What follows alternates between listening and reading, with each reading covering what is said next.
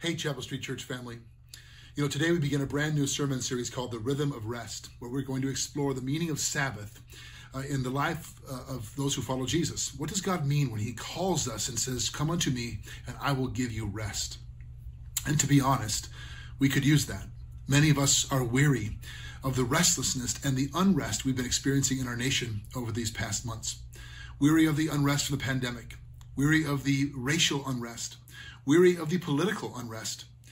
And this past Wednesday, January 6th, the day the Christian church historically celebrates Epiphany, the moment when the, Jesus was revealed to the Gentiles, when the Magi came and bowed before the infant king. On that day, a mob stormed our nation's capital, the Capitol building to be precise. A woman lost her life, and it was a tragic scene, um, and one will never forget. Now, since that day, I've seen so much rumor and innuendo and all kinds of opinion swirling around on social media and on the internet. I have nothing to add to that. I don't want to add to that. And I would caution all of us against that. What I do want to do is call us as a church family, as a community of faith, to pray. We're commanded to pray in all times and, and on all occasions. We're told to pray for our country and our nation's leaders. And so, Chapel Street Church, Let's be a praying church in this moment of all moments. Let's keep praying. Don't be distracted by those who co opt movements and slogans for their own agendas. Don't take the bait from various headlines and narratives. Watch your own reactivity. Instead, pray. It seems like foolishness to the world, but it's how the church wages war in this moment and in all moments. It's how the church brings about change. We pray, we seek our King. It's how we receive our marching orders, and it aligns our hearts uh, to the priorities of our crucified and risen King. So before you speak or post or act, pray. As you speak or post or act, pray. After you speak or post or act, pray. Let's commit to being a praying church let's not allow uh, the discourse and the division that's happening to infiltrate our hearts and our lives. Let's be committed to pray. When you don't have the words, pray. When you don't know what to do, pray. If this season has taught us anything, it's taught us this that the problems we face as a nation, as individuals, cannot be solved by government alone, by elected officials alone, by any human institution. There's only one who can solve them, and so let's seek him in prayer. And so I want to invite you right now in this moment just to pray with me. Let's pray the Lord's Prayer together. Will you pray with me? Our Father, who art in heaven, hallowed be your name. Your kingdom come and your will be done here on earth as it is in heaven. Give us this day our daily bread and forgive us our trespasses as we forgive those who trespass against us. And lead us not into temptation but deliver us from evil. For thine is the kingdom and the power and the glory forever. Amen. Well, I'm grateful for Pastor Jeff's words and perspective, by the way, sent to us from his vacation in Florida. And I'm grateful mostly for his reminder to pray and his reminder of just how beautiful the Lord's Prayer is. So thank you, Pastor Jeff. Well, as many of you know, I grew up as a PK that is a preacher's kid. And that meant for our family, life revolved around the church, and Sunday was always the most important day of the week. I mean, when I was growing up, we had Sunday school at 9:45 in the morning, straight into what we called big church or worship at 11, and then we went back to church sometimes for youth group at 6 and then evening service at 7 in the evening. In between all of that, we did two things. We had our family Sunday dinner, and then there was nap time. My parents had taught us that Sunday was a day of rest and nap time was mandatory as I was growing up. I now know, all these years later, that nap time for my parents was about a little bit more than napping, which is why they always locked their bedroom door. And I think you can probably connect those dots. By the way, the ancient Jewish Sabbath traditions included an expectation, a mandate for marital napping, and that's true. And I would guess some of you just got way more interested in Sabbath rest. Now, nap time was fine when we were little boys, but somewhere around 11 or 12 years old, I started to push back on the whole nap time thing. I mean, I didn't want to spend Sunday afternoon napping. I wanted to watch a ball game on TV. I wanted to go out and play ball with my friends. I mean, I'd already been to Sunday school and church. We were going back to church in the evening, and I figured that had to be enough to keep God happy. I wanted Sunday afternoons for myself. So I developed a strategy, a theological strategy. So the next time I, I, asked my parents if I could go out and play with my friends, and they said Sunday's a day of rest, I had my argument ready. I said, Mom and Dad, Sunday is a day of rest, right? And that means God wants us to rest from work, right? I think you'd agree that playing is not working, right? So therefore, I think play is a form of rest. And that means God would want me to play on Sundays. Now, whether they were convinced by my theological brilliance or just realized I was getting too old for naps, my parents relaxed the Sunday nap requirement and I was allowed to play. So here's the question who was right? My parents or me? Well, both and neither. Today we begin a four week series called Rhythm of Rest. And like Jeff said, we are going to explore the ancient and biblical practice of Sabbath. Now, I know that when we hear the word Sabbath, uh, we hear a word that's just a bit foreign to us. We hear a Jewish tradition. As most of us didn't grow up in the Jewish culture, we might think, well, you know, that's not really for us. And I'm going to suggest today that this kind of thinking would be wrong.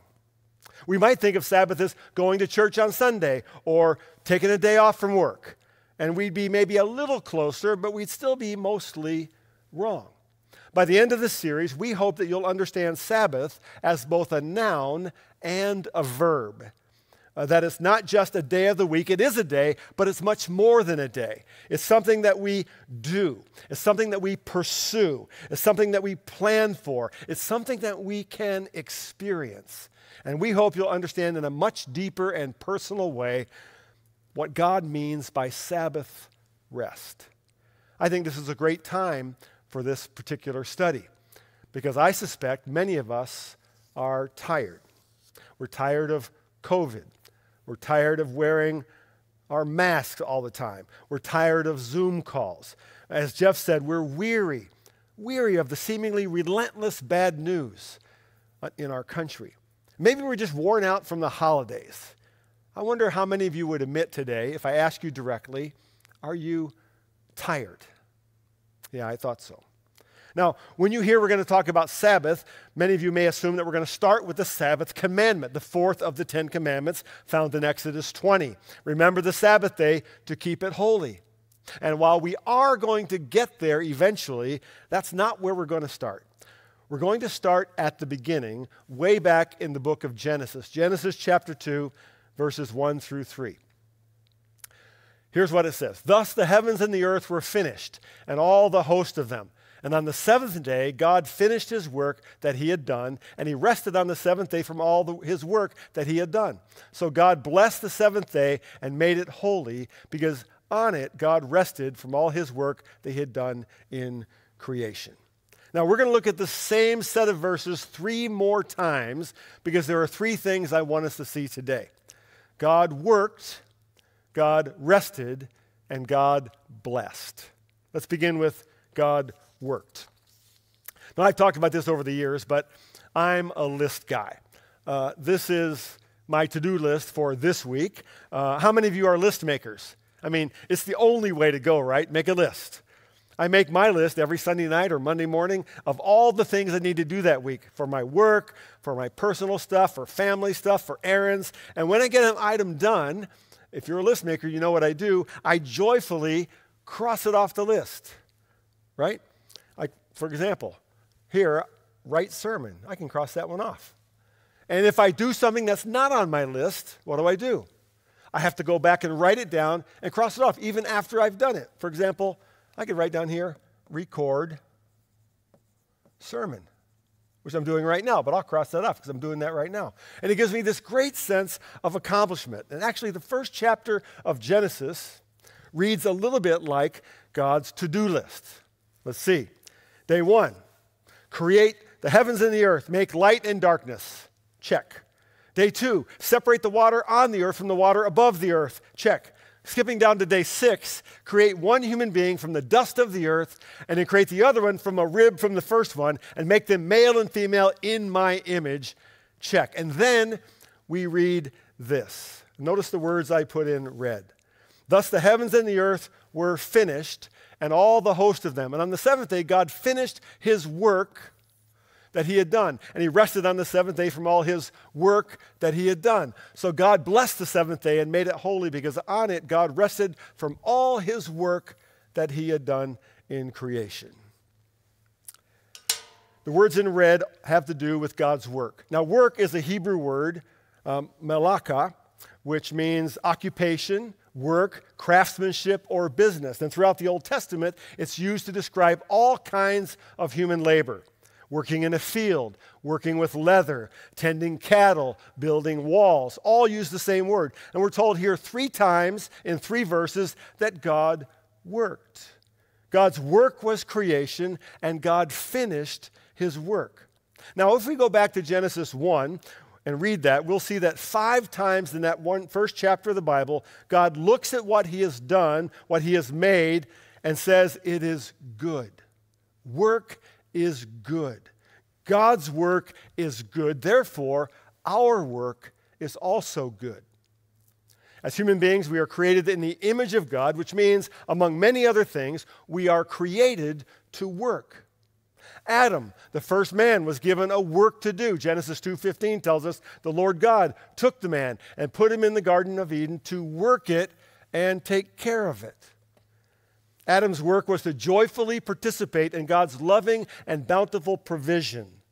And work only became a struggle, only became painful, only became a burden after the fall into sin. Now, did you know that all work is ordained by God, that your work matters to Him because it honors His image in you.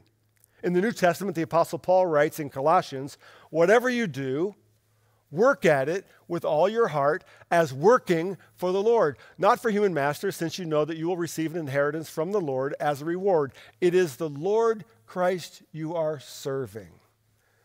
Work is good.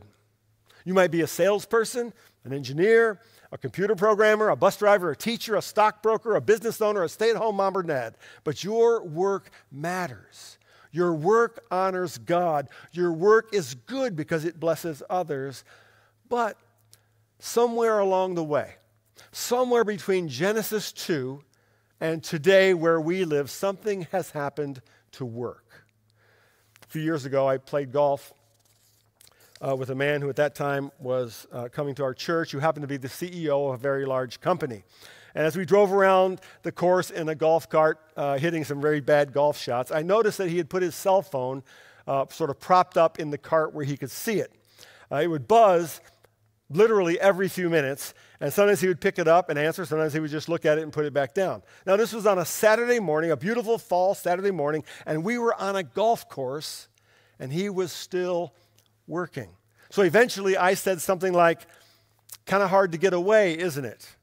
And then he said, yeah, we have offices all over the world, so someone is always working. And then he told me a story about there was a time when there was a whole season of his life when he had to sleep in the closet of his bedroom so he could answer his phone in the middle of the night without waking up his wife. And it struck me this was a CEO of a billion dollar company living in a million dollar house, and he was sleeping on the floor of his closet because he could not get away from his work.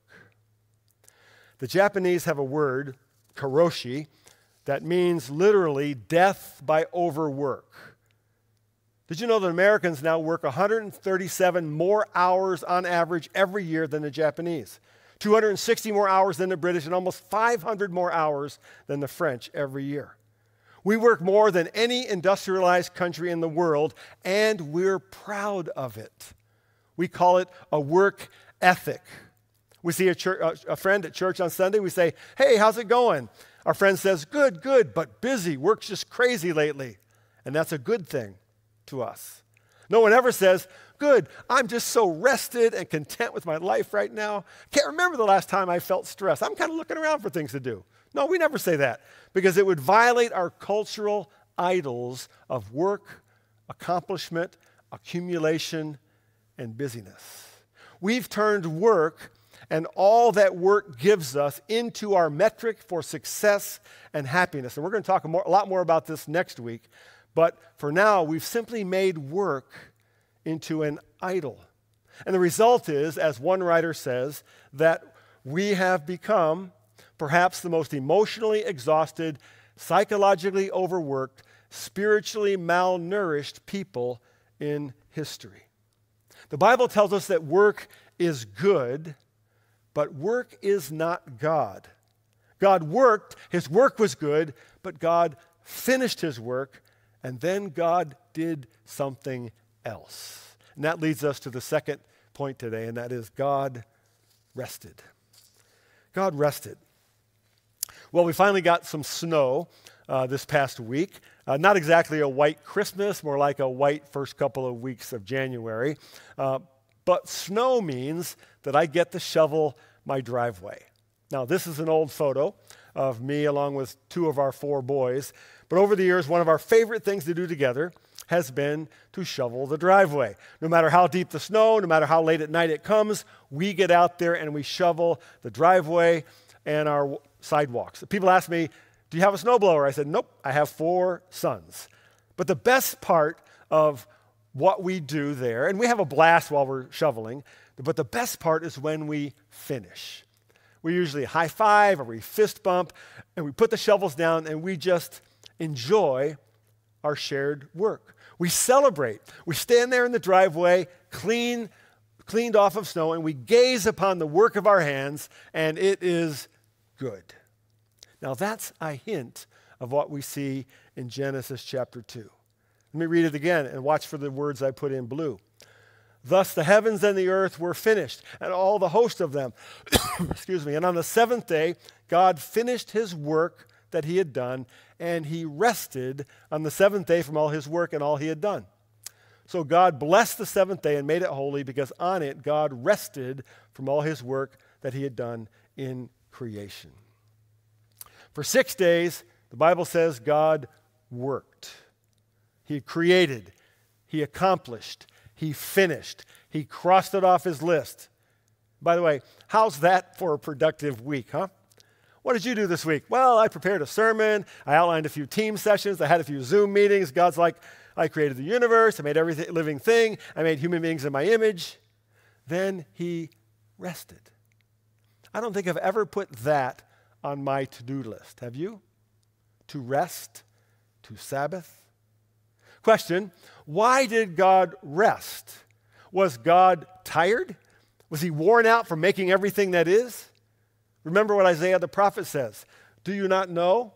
Have you not heard? The Lord is the everlasting God, the creator of the ends of the earth. He will not grow tired or weary, and his understanding no one can fathom. The God of the Bible is omnipotent, that is all powerful. He never gets tired, he never gets weary, but he rested. The Hebrew word translated rest is Shabbat or Sabbath. Now, we think of Sabbath as a noun, and it is. But here in Genesis 2, it's a verb. It means to cease, to stop, to desist from labor. So after accomplishing all his work of creation, God Sabbathed. The question is, why did God rest if he wasn't tired? I think the Bible is telling us that God intentionally ceased his work in favor of something even better. God was building the rhythm of rest into the very fabric of creation. Think about it. We have day and we have night. The human body is hardwired for this rhythm of waking and sleeping. And when this rhythm is disturbed, we have real problems. We get sick. Did you know that 70 million Americans today suffer from some sort of sleep disorder? Or think of the seasons spring and summer, seasons of planting and growth, fall and winter, seasons of harvest and rest. Even in a football game, what happens between plays? The players all go back and they huddle up and they rest for 30 or 40 seconds. At halftime, they rest again before going out and trying to beat each other silly. Go Bears. But this rhythm of rest, the rhythm of Sabbath, is built into the very laws of the universe. Arguing, I saw someone who wrote this, arguing about whether we have to keep the Sabbath is like arguing about whether we have to keep the law of gravity. It Doesn't make any sense. Gravity just is, and we ignore it at our own peril. And the same is true with Sabbath. In his book entitled Sabbath, author Wayne Muller writes this Poisoned by this hypnotic belief that good things come only through unceasing determination and tireless effort, we can never truly rest. And for want of rest, our lives are in danger. God rested. God Sabbathed.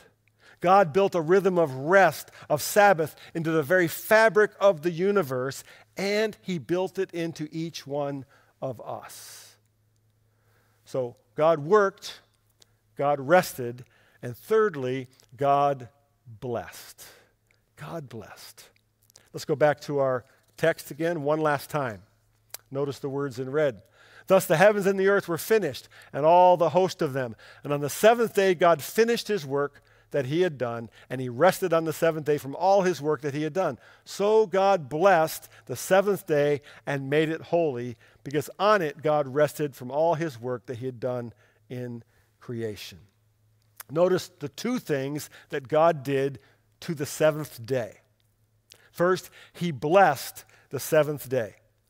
What does it mean that he blessed the seventh day? If we go back to day five in creation, when God created the sea creatures and the flying birds, we read in Genesis 1:22, God blessed them and said, "Be fruitful and increase." in number and fill the water in the seas and let the birds increase on the earth. And in Genesis 2:22 after he created human beings in his own image, he said God blessed them and said be fruitful and increase in number and fill the water in the seas and let the birds increase. Uh, oops, that's the same verse. We got the wrong one on there, but it says be fruitful and fill and subdue the earth. Now, to say God blessed means that he blessed both the creatures of the air and the sea, and he blessed human beings to be fruitful and increase, to bring life. And now he blesses a day. That is, the Sabbath is blessed to bring life. Work does not do that. God created rest, God created Sabbath to be life giving. Secondly, you'll notice that he made the seventh day holy. Now, this is the first time the word holy appears in the Bible. And holy just means to sanctify, to set apart, to make something different and special. We call the Bible the Holy Bible because it's unlike any other book. And this is the only thing God made in all of creation that He calls holy. And it's the seventh day. In other words, God sanctified time. We tend to think of places as holy temples, shrines, cathedrals. But that's not what God does. God makes a day holy. Why? I think it's because the God of the Bible, Yahweh, cannot be located in a building. It's because the God of the Bible, Yahweh, I am that I am, cannot be limited to a place. Rather, the God of the Bible is found and experienced in the world of time. He is found in Sabbath. Here's something that's not only interesting, but very critical to our understanding.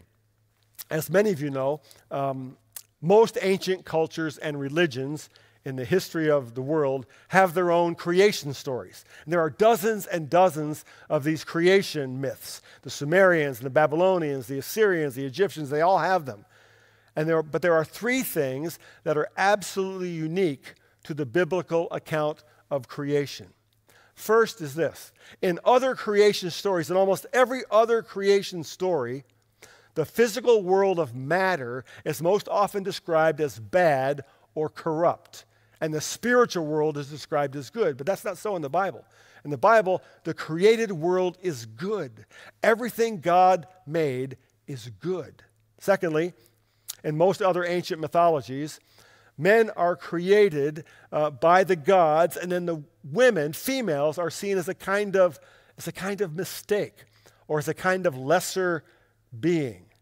But not so in the Bible. In the biblical account, women are made in the image of God, just as men are made in the image of God. And that's unique. But thirdly, and for our point today, the God of the Bible offers his creatures, his creation, the gift of rest. The idea of Sabbath is found nowhere else in ancient religious history. And that tells us that we worship a God who cares for us by giving us the gift of rest, Sabbath. So here's where we begin our whole understanding of Sabbath. Sabbath is not just a day off, it's much, much more. To Sabbath means not to set aside time to catch up on errands or laundry or the thousand little things you still have on your to do list. Sabbath is not just Sunday church. That certainly may be part of a Sabbath, but it's much more, more than that. Listen to how Wayne Muller describes Sabbath in his book. He writes Sabbath reminds us that we are always and already on sacred ground. The gifts of grace and delight are present and abundant. The time to live and love and give thanks and rest and delight is now, this moment, this day. Feel what heaven is like. Have a taste of eternity. Rest in the arms of the divine. We do not have miles to go before we sleep. The time to sleep, to rest, is now. We are already home. That's a beautiful paragraph. As I was studying this past week, I found this little story. I couldn't find the exact source, so this may be somewhat apocryphal, so hear it as a parable. But a century ago, there were European missionaries serving in Africa, and they hired some local villagers as porters to help them carry supplies uh, to a far off mission uh, station miles away. Uh, the, and the porters walked at a slower pace than the missionaries uh, wanted. So after the first couple of days, they pushed them to go faster. So on day three of the journey, the group uh, made it, managed to go twice as far as they had traveled on day two. And that night, the missionaries were happy. They congratulated themselves on how much uh, uh, ground they'd covered. They'd made much better time. But on day four, when they got up and prepared to leave, the African workers refused to walk. The missionary asked, What's wrong? Why aren't you going to walk? And the spokesman for the African porter said, We can't go any further today. We're not walking today. The missionary said, Why not? Is, are you sick? Everyone looks well. And the African says, Yes, we are well, but yesterday we walked so far so quickly that today we must stay here and allow our souls to catch up with us. I wonder, is it time to let your soul catch up. We want to invite you, as the Chapel Street family, to share in what we would call a, a Sabbath experiment. You may already be very intentional about Sabbath. You may have established your own personal and, and family practices, and that's great. But my guess is for many of you, this will be just a bit new and maybe even a little uncomfortable. But we want to invite you to consider exploring what God might want to give you through Sabbath rest. So, for the next four weeks, for the duration of this series, we want to invite you to intentionally choose a day. Maybe it's Sunday, maybe it's Saturday, uh, maybe it's parts of two days. And if that seems too much, uh, start with half a day. But choose a time to Sabbath. And here are some things that you can begin with. This is just sort of Sabbath 101. First, I suggest, we suggest you unplug. That means unplug from phones, from social media, from TV news. Now, I know that sounds kind of crazy to some of you, but trust me, all those tweets and posts will still be there on Monday. By unplugging, you'll create space a mental, emotional, and spiritual space, excuse me, to experience perhaps what God wants to give you. So unplug, create space. And in that space, consider taking a walk. It sounds simple, but not an exercise walk, not a purposeful walk, but a Sabbath walk. Try to notice things you would normally just walk right by. Pay attention to what God might want to say to you. Just last week, I was walking as I do a couple times a day. This was in the morning. And I'm walking and I'm thinking about all the things I have to do that day. I'm thinking about this sermon on Sabbath. And then I happened to notice it was that morning when we'd had a freezing fog the night before and the trees were all white. I mean, every single twig on every single tree, every branch was coated completely with white, like it was a work of art. And I happened to notice, and I slowed down and sometimes I just stopped. And I had a little slice of Sabbath. Take a walk. Write a letter. Write a letter to, to a friend who might need encouragement. Not, not an email, not a text, an old fashioned letter. Take your time and write. Write a letter to yourself. Write a letter to God. Take a nap. Maybe take a nap. Light a candle. Celebrate something. Th- think of as many things as you can to be thankful to God for. But here's the point take time to Sabbath. Put it on your to do list. Make it as important as all the other things you have on that list. Take time to rest. Take time to delight in the God who delights in you. Maybe it's time to let your soul catch up. I hope you'll stay with us through this whole series. Let's pray. Lord God, how we thank you today for your word. We live in a busy world of work, hurry, and stress. And many of us need to confess that we have often forgotten to Sabbath. Thank you for your great gift of Sabbath rest. Teach us to heed your invitation. Teach us to be people who not only know how to work and work for you, but also how to rest in you. Teach us the joy and delight of Sabbath. Amen. Receive now the benediction. May we go now in the name of the God who worked to create all that is and who rested that we may know his rest.